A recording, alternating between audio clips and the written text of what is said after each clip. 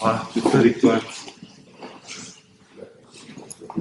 Peço desculpa, estava no reunião do Bitcoin, que é quem vai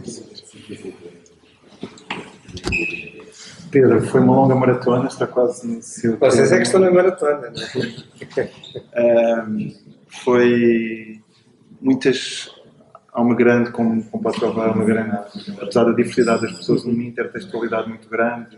Levei várias vezes à baila nomes dos mesmos eventos, memórias, sim, sim. memórias eh, não diria dissonantes, mas complementares, eh, distintas, uh, sobre esses mesmos eventos. O nossa, a nossa, nós já falámos sobre qual, é, qual a perspectiva, qual a encomenda, digamos assim, um, e, e há esta piada de, do entrevistado anterior manter-se para nos ajudar a fazer a entrevista quando, quando acontece. Um, a pergunta ou repto que, imediatamente é lançado só para começo de conversa é, tem exatamente que ver com as memórias que cada um dos nossos entrevistados tem daqui, tem daqui, sendo que as tuas são estendidas ou distendidas porque foste aluno, aluno Sim. cá muito novo. Sim, não, eu, eu comecei.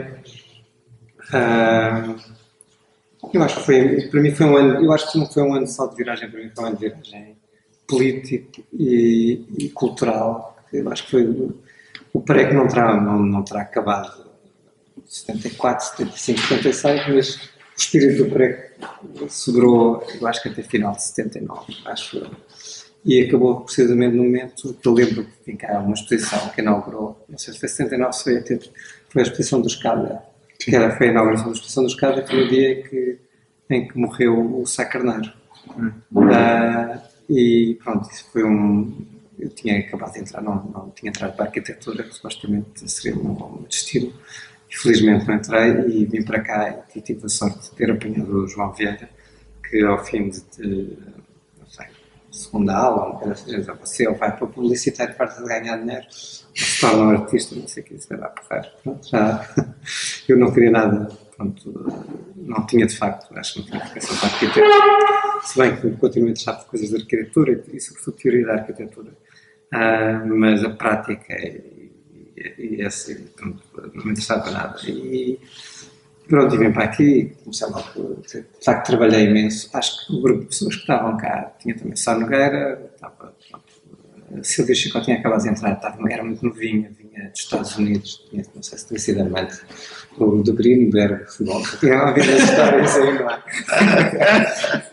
Havia uma história, foi Mário Gonçalves. Eu, foi um ano também que vieram cá fazer várias conferências, o, o, o Jorge Pinheiro, o Wesley de Souza, várias pessoas que faziam conferências aqui também. Mas para mim eu acho que deu-me de facto uma base muito interessante, porque isto, isto, tinha uma tradição muito formalista, um bocadinho inglesa, não é? Uh, e, e pronto, isso.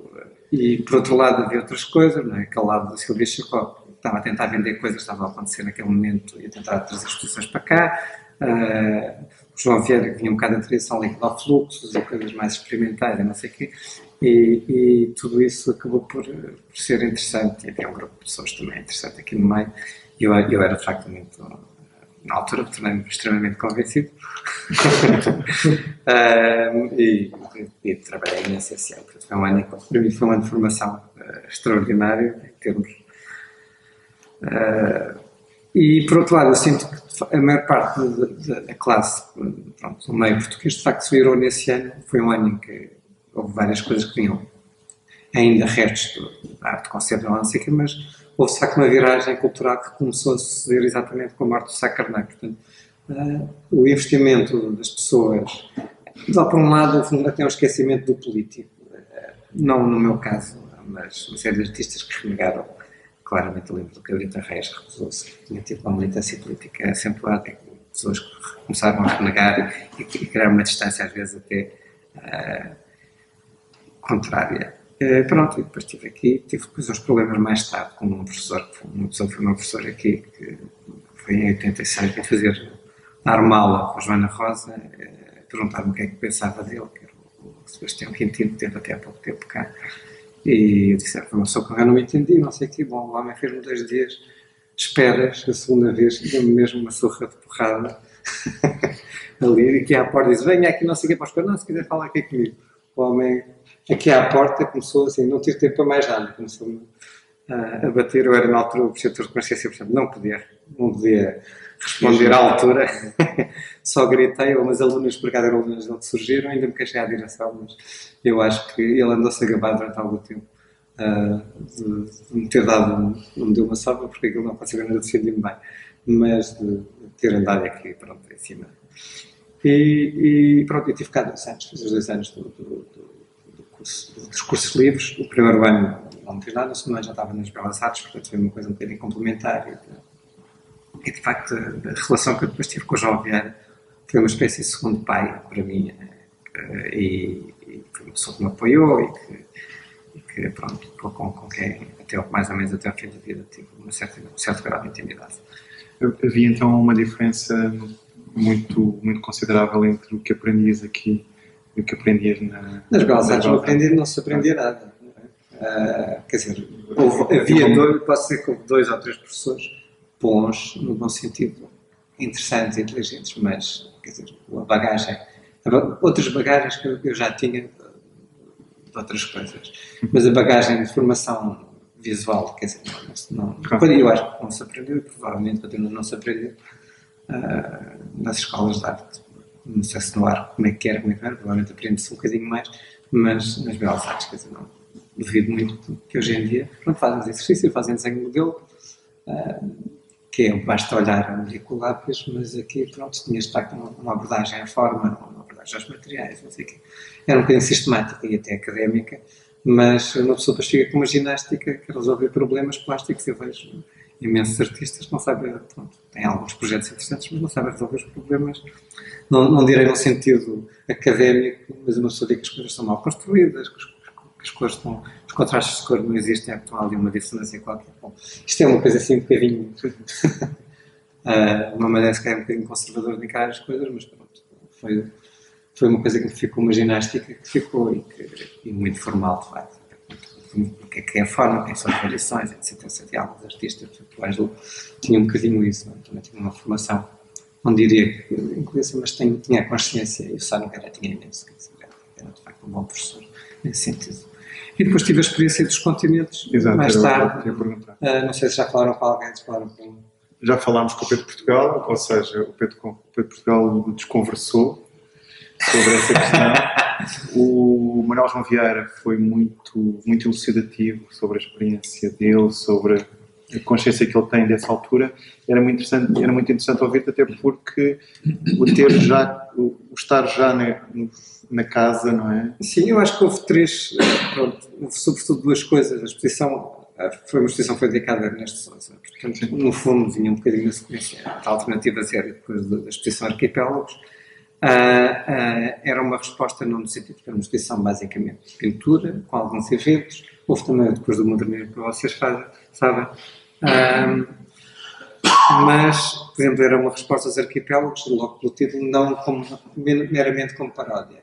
A ideia de continentes era uma ideia teórica de falar de, em vez de falar de fragmentação, de autofagia, porque havia muito um discurso de autofagia, do litoral, discurso da Derrida,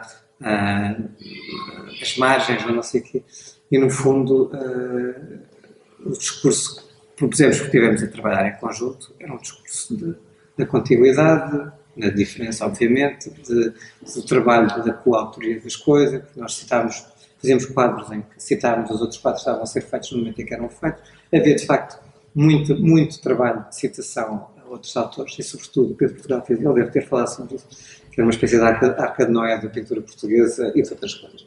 A arte americana ali no meio, Uh, mas, uh, e, e, e, pronto, era esta ideia, um bocadinho de globalidade, de globalização, que estava um bocado no ar. Se bem que depois no catálogo não havia textos de críticos, não sei o quê, havia só dedicatório ao Ernesto. e depois havia, obviamente, algum discurso subjacente clandestino, como sempre, e manifestos que foram escritos a propósito da exposição. Um, e, por outro lado, houve também algumas histórias Pessoal não sei se contou de, não, não de intrigas internas quase. Não, não, Porque foi uma exposição que foi muito produzida, obviamente, houve concertos, etc, etc. Uh, nós, obviamente, pedimos uh, ao Conselho Técnico da Sociedade Nacional Belas Artes, pronto, ser aprovada uma exposição, pedimos subsídios à Secretaria de Estado da Cultura na altura, que era a Margarida Veiga, e a Gulbenkian também estava a Fernando Azevedo. A verdade é que houve um, uma espécie de sabotagem do próprio Fernando Azevedo, que andou a dizer à Margarida Veiga que a se ia realizar. Portanto, havia aqui uma espécie de, de também complô. Pronto. Não sei como é que a coisa foi pressionada ou não foi, mas acabou por, por uh, se conjugar e a exposição andar para a frente e, e ter o seu seguimento. Mas pronto, basicamente a história das, das pequenas intrigas uh, são estas. Uh, Pedro, não sei se tens alguma questão. Estava a ouvir a, a, história. Sim, ressentimentos, estas coisas eram, éramos uns miúdos de facto. Mas a tua primeira exposição é essa? Não, tive outras coisas que passaram aqui. Não, é, não essa exposição já foi uma exposição. Mais cedo. Foi a sexta exposição à minha estética. Quinta, quinta. Quinta, quinta exposição à minha estética. Nós, eu comecei, quer dizer, fiz cá exposições, quer de alunos, quer de não sei o quê, uh, participei em imensas exposições nos salões, uh, papel como suporte, não sei o quê, uma série de exposições com algum interesse, porque era, era uma das poucas oportunidades que havia, de, sobretudo na maior parte dos alunos mais, mais desenvoltos das, das belas artes, que lembro que havia, sei lá, Ana Vidigal, o Casqueiro, o Xana, pronto concorriam aqui a estas coisas para ver se aparecia alguma coisa. De facto, a maior parte dos artistas deste país uh, estavam, estavam nos salões. Por mais ridículo que isto pudesse parecer, era uma forma um bocadinho, era uma grande misturada. Uh, depois havia algumas exceções que não estavam, mas era importante, eram eventos importantes. Uh, Portanto, era um espaço de eleição, não é? Sim, sim, sim. Uh, acho que sim. Uma, uma das coisas que se falou muito hoje é que a Sociedade Nacional das Artes teve sempre uma ligação muito mais evidente com formas coletivas de organização do que com, com um lado mais individualista. Isto é uma, é uma sociedade de artistas, é claro. normal que tivesse a satisfazer um bocadinho a vontade dos sócios, não é? Para, obviamente que havia, uh, pronto, havia a, a, a, galeria mais experimental lá em baixo. A Galeria da Arte Moderna. A Galeria da Arte Moderna, pronto, aqui tinha os naivos. Eu lembro-me que quando entrei para aqui para ter aulas, fiz uma, uma macacada, pronto, um disparate completo, mas tenho imensa vergonha disso, mas aproveito para contar coisas vergonhosas. Eu lembro que o João Vieira me tinha gostado sobre o dadaísmo do, do Richter, era das poucas coisas que havia acessível, provavelmente era o único livro acessível do Richter. Richter. Eu lembro que fui ao Porto, li aquilo, não sei que vim para cá e estava aqui uma exposição na EF e eu cheguei cá e pus assim uma pintura completamente provocatória aqui no meio da exposição e desapareci. Pronto, depois andava a saber quem é que era, para lá, me confessar, mas também não foi nada. De facto, apetecia, pronto, era uma coisa, tinha um miúdo com 18 anos. É normal que fizesse uma coisa deste género, não é? Mas essa componente provocatória mesmo que se vê nessa, nesse ato, Sim. quase refletido. Refletido não, mas quase como uh, inconsequente.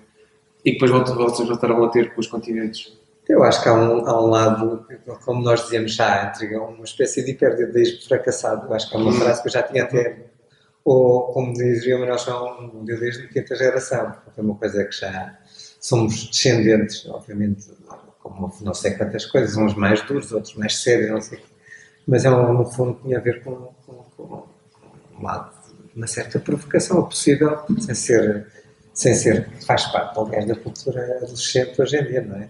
Quase que é obrigatório provocar. Mas havia de facto ali um humor, uh, às vezes, que nós, que era um bocadinho, eu havia sobretudo uma atividade mais clandestina, portanto, isso era não, não tão exercido uh, relativamente à sociedade, mas era mesmo entre nós que as coisas sucediam como se, se assim também, citando o, o, Duchamp, ou adaptando coisa, o humor ou o vez tivesse que ir um bocadinho underground e, e constituir-se. Porque nós, eu lembro-me, escrevi uh, durante aqueles anos todos para aí 30 manifestos, Uhum. que um foi para aí publicado, ou uma coisa assim, e continuei a fazê-lo, não é? Portanto, e continuamos a dar-nos a trabalhar isso tudo. É uma, é uma sociedade de amigos, quase como uma academia no sentido renascentista. Uma academia de pessoas que se encontram, se divertem um bocadinho, às vezes fazem coisas que são, não interessam menos duras. Isso, o Manuel João Vieira falou-nos um pouco achámos isso muito interessante. Eu achei isso muito interessante. Das novas formas de colaboração que vocês vão mantendo, que são. Sim, às vezes através da internet, às vezes a fazer filmes, outras vezes a fazer coisas. Portanto, é uma questão de.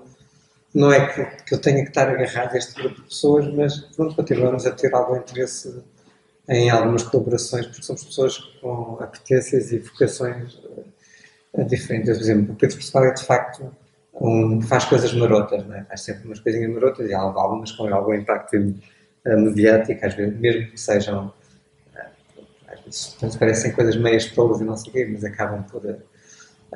e outros, pronto, o Manel João é, é, é, normalmente tem aquela fachada de, de personagem. Do, personagem, dizer coisas uh, cheias de palavrões e não sei o quê, que aquilo pega, mas na verdade é uma pessoa extremamente séria. Sim, eu, quer dizer, foi muito, foi muito gritante o contraste entre a intervenção de um e do outro. Nesse sentido. Mas uma questão que eu queria mas colocar. Mas de facto tem esse lado de desconversa. mas, mas uma questão que eu queria colocar é que tem que ver com o crescimento, com o envelhecimento, com a maturidade. Uh, vossa, quer dizer, enquanto autores que depois se autonomizam uns dos outros, não é? E que, e que continuam percursos individuais, mas que depois se encontram alguns, aliás, com outras pessoas da mesma geração, que não são artistas, muitos deles. Somos todos, estamos todos a tentar chegar a uma altura em que sejamos melhores do que agora, se chegamos ao, ao patamar dos velhos mestres, se calhar chegamos lá. mas, mas... Como, como é que essas pontes têm? Eu tenho para mim que o vosso trabalho, já desde os homeostéticos, e depois também com várias manifestações sim. até fora do domínio artístico estrito. É um trabalho, digamos, engagé. É? Sim, é um trabalho, sim, isso é. É um trabalho de contrapoder, é um trabalho subversivo, que diz coisas sérias a brincar. É? A minha questão era com essa. tem que ver com essa perspectiva dos anos que passaram, é? Em que ponto achas que isso está? Em que ponto achas que tu preocupas? Eu acho que houve eu acho e sinto que, de facto, houve aqui um período que é normal. Não, não vou dizer que é um, foi um período de acomodamento, porque não, não, era nesses, não era nesses termos que eu diria, mas há, há, houve prioridades às vezes que sobrepõem a questões que dizem estritamente respeitar. Nós passamos, pronto. Uns tinham umas coisas para fazer, outros outros. Eu tive, de facto, um período mais de. Não é uma desculpa, com alguns interesses, algumas investigações que quis desenvolver, outras coisas que eu fiz com agora está a falar com o meu filho, pronto, são menos, menos interessantes, devia ter sido mais exigente, como é lógico.